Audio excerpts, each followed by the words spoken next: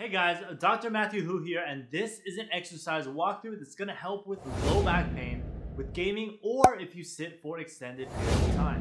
When we do sit for long periods of time, what happens is we develop some stiffness, some weakness, some control issues that these exercises are going to address.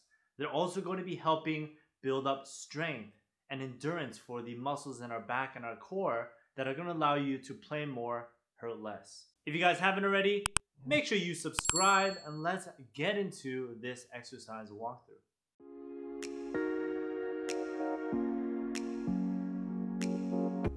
This is the psoas stretch with arm lifts. You're going to be tightening your abdomen, propping your leg up on a chair as shown, bringing your hips forward until you feel it in the front of your right hip or the hip that's propped up onto the chair. Then you're going to be reaching your arms up so that you can sensitize or increase the stretch for your psoas. Make sure you're going to be doing this on both sides. This is the other side. Again, you're going to be propping your leg up. You can use the backrest of the chair to provide a little more stability if it's a rotating chair like so. Tighten that abdomen before you bring your hip forward. Feel that stretch and then lift your arms up again to sensitize that stretch and you're going to repeat as many as you can throughout the 30 seconds.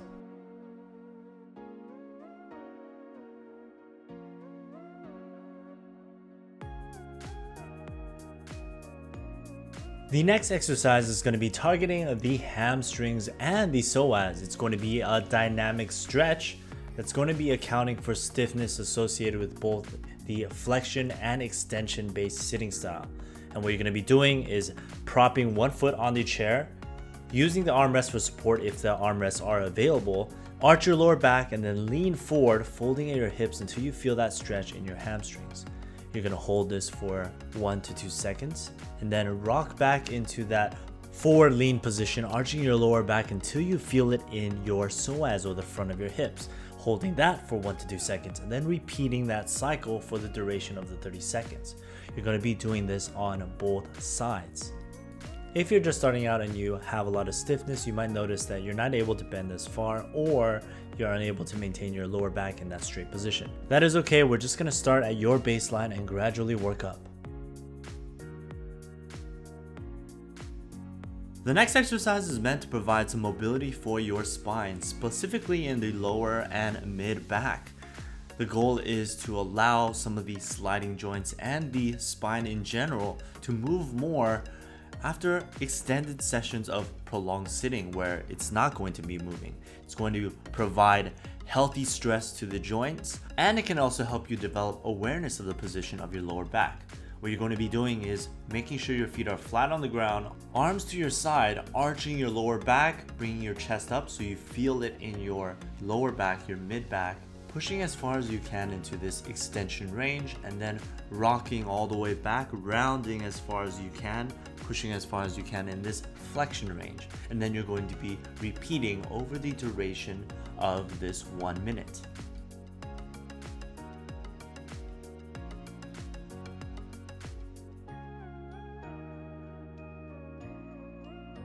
This next exercise is meant to strengthen the muscles of your lower back, as well as provide some endurance for the muscles that you repeatedly use to hold yourself up against gravity or maintain that upright body position. What you're going to be doing is making sure your feet are flat on the ground. You're going to spread your knees apart to allow some space for your torso to come forward. Place your hands behind your head. Bring your elbows back so that it's in the plane of your body then maintaining your lower back in this straight position, lean forward, and then bring it back up. And in the second part of this, you're going to be holding for 30 seconds so that you can also develop some endurance for the lower back muscles. Then you're going to be repeating it on the opposite side, starting with the active range of motion, then working again towards the hold for 30 seconds.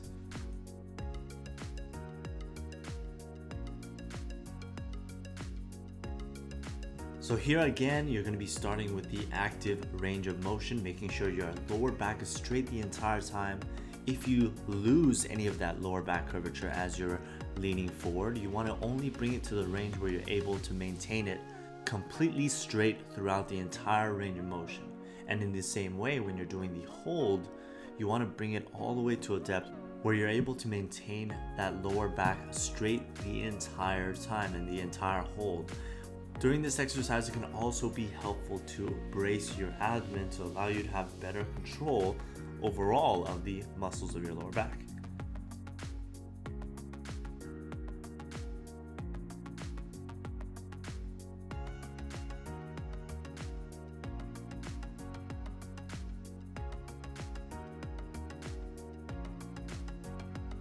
The next exercise is called the posture prayer. This exercise is great because it helps improve your posture but also challenges your core to stabilize your lower back as you're lifting your arms up, actively stretching that lat. What you're going to be doing is leaning forward slightly, bringing your elbows close together with your palms facing you, then reaching up forward in front of you, maintaining your lower back in this straight position, reaching all the way up overhead as far as you can. You should feel some tension in that lat of yours and then bringing it back down and squeezing between your shoulder blades, holding and then repeating for 30 seconds. The next exercise is going to focus on strengthening your glutes, which are key in addressing low back pain, as well as actively stretching your hamstring. What you're going to be doing is standing up, turning your chair around, putting your hands on the back of the chair as shown, leaning forward, making sure your lower back stays straight, your pelvis doesn't open up, and then lift your leg up, keeping your knee straight into extension, feeling that squeeze in your butt three times, and you'll also feel a stretch in your opposite hamstring or the hamstring that's on the ground. Then you're gonna be repeating this on both sides. When you come up, you wanna imagine that there's this plank from your head all the way down to your heels so that you're leaning forward and folding at your hips, feeling tension in your hamstring as you lean forward.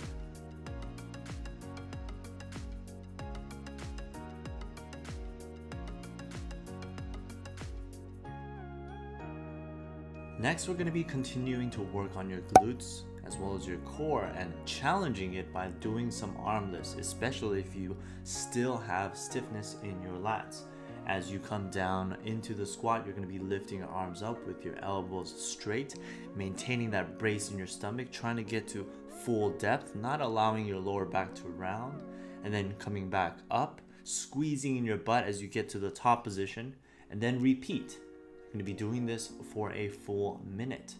Really feel your arms come up and extend all the way out as you are going down into the depth and then bringing it back up and squeezing into the glutes, holding for maybe one or two seconds at the top of every single squat. Again, you want to make sure you're bracing the whole time so that we can work on the stability of your core.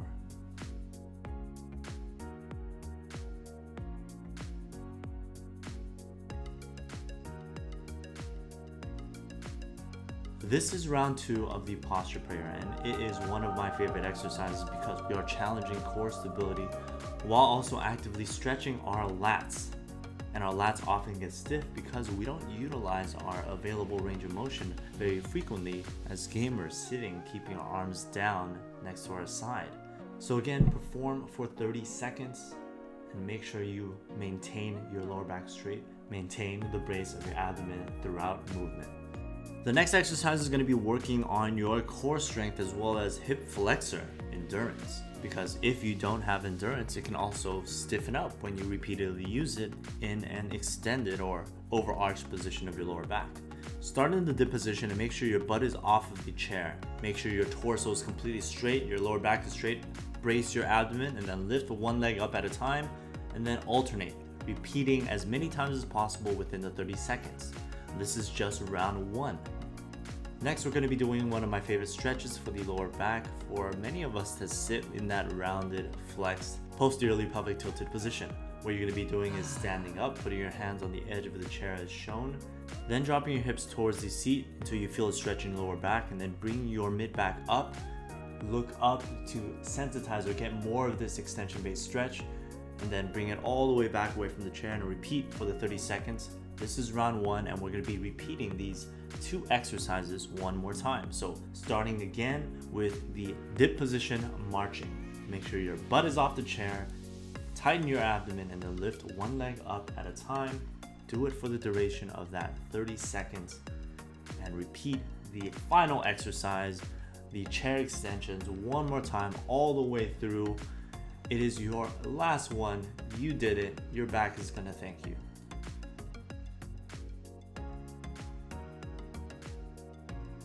Here it is. This is the last 30 seconds of this exercise routine. Remember to bookmark this, save this, so you can always return to this so you can do this on a regular basis to keep your lower back strong, to make sure you allow for some healthy mobility and motion of the spine throughout your days as a gamer, sitting for extended periods of time, or if you're just a programmer, someone that sits very frequently in front of the computer, this is great for you.